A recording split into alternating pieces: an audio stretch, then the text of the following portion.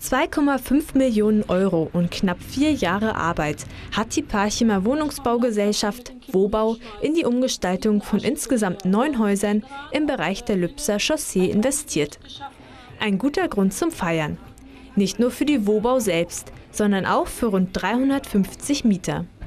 Insgesamt 164 Wohnungen, fast alle längst vermietet, befinden sich nun im nagelneuen Wohnumfeld.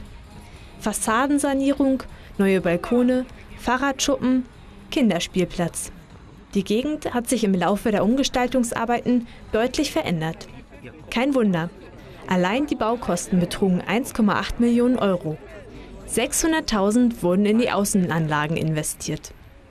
Mit dem Großprojekt setzt die Wobau ein weiteres Zeichen in Parchim. Umso mehr können sich jetzt die Einwohner freuen. Die Mieten haben sich nur um die Monatspauschale für den neu errichteten Balkon erhöht. Die restlichen Baukosten müssen die Mieter nicht tragen.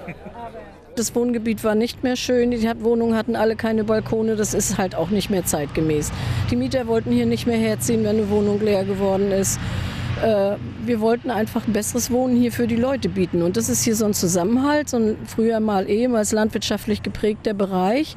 Und alle haben hier Gärten und Garagen. Und äh, ja, hier wohnen Oma und Kinder und Enkelkinder zusammen. Und wir wollten, dass sie lange bleiben, dass wir für uns also immer belegte Wohnungen haben. Die Stadt Parchim ist sehr zufrieden mit ihrer Wohnungsbaugesellschaft. Wir hatten schwere Zeiten, gerade in den 90er Jahren, sehr niedrige Mieten, sehr hohe Altschulden. Das haben wir in den letzten Jahren gemeinsam gut abgebaut. Die Wobau ist ein sehr gesundes Unternehmen und wir sind sehr zufrieden, dass sie sehr viele Mieter hat, wenig Leerstand hat und dass es ihr gelungen ist, hier das Areal so wunderbar und herrlich herzustellen. Ich hoffe, alle Mieter freuen sich auch und das wollen wir heute auch hier feiern.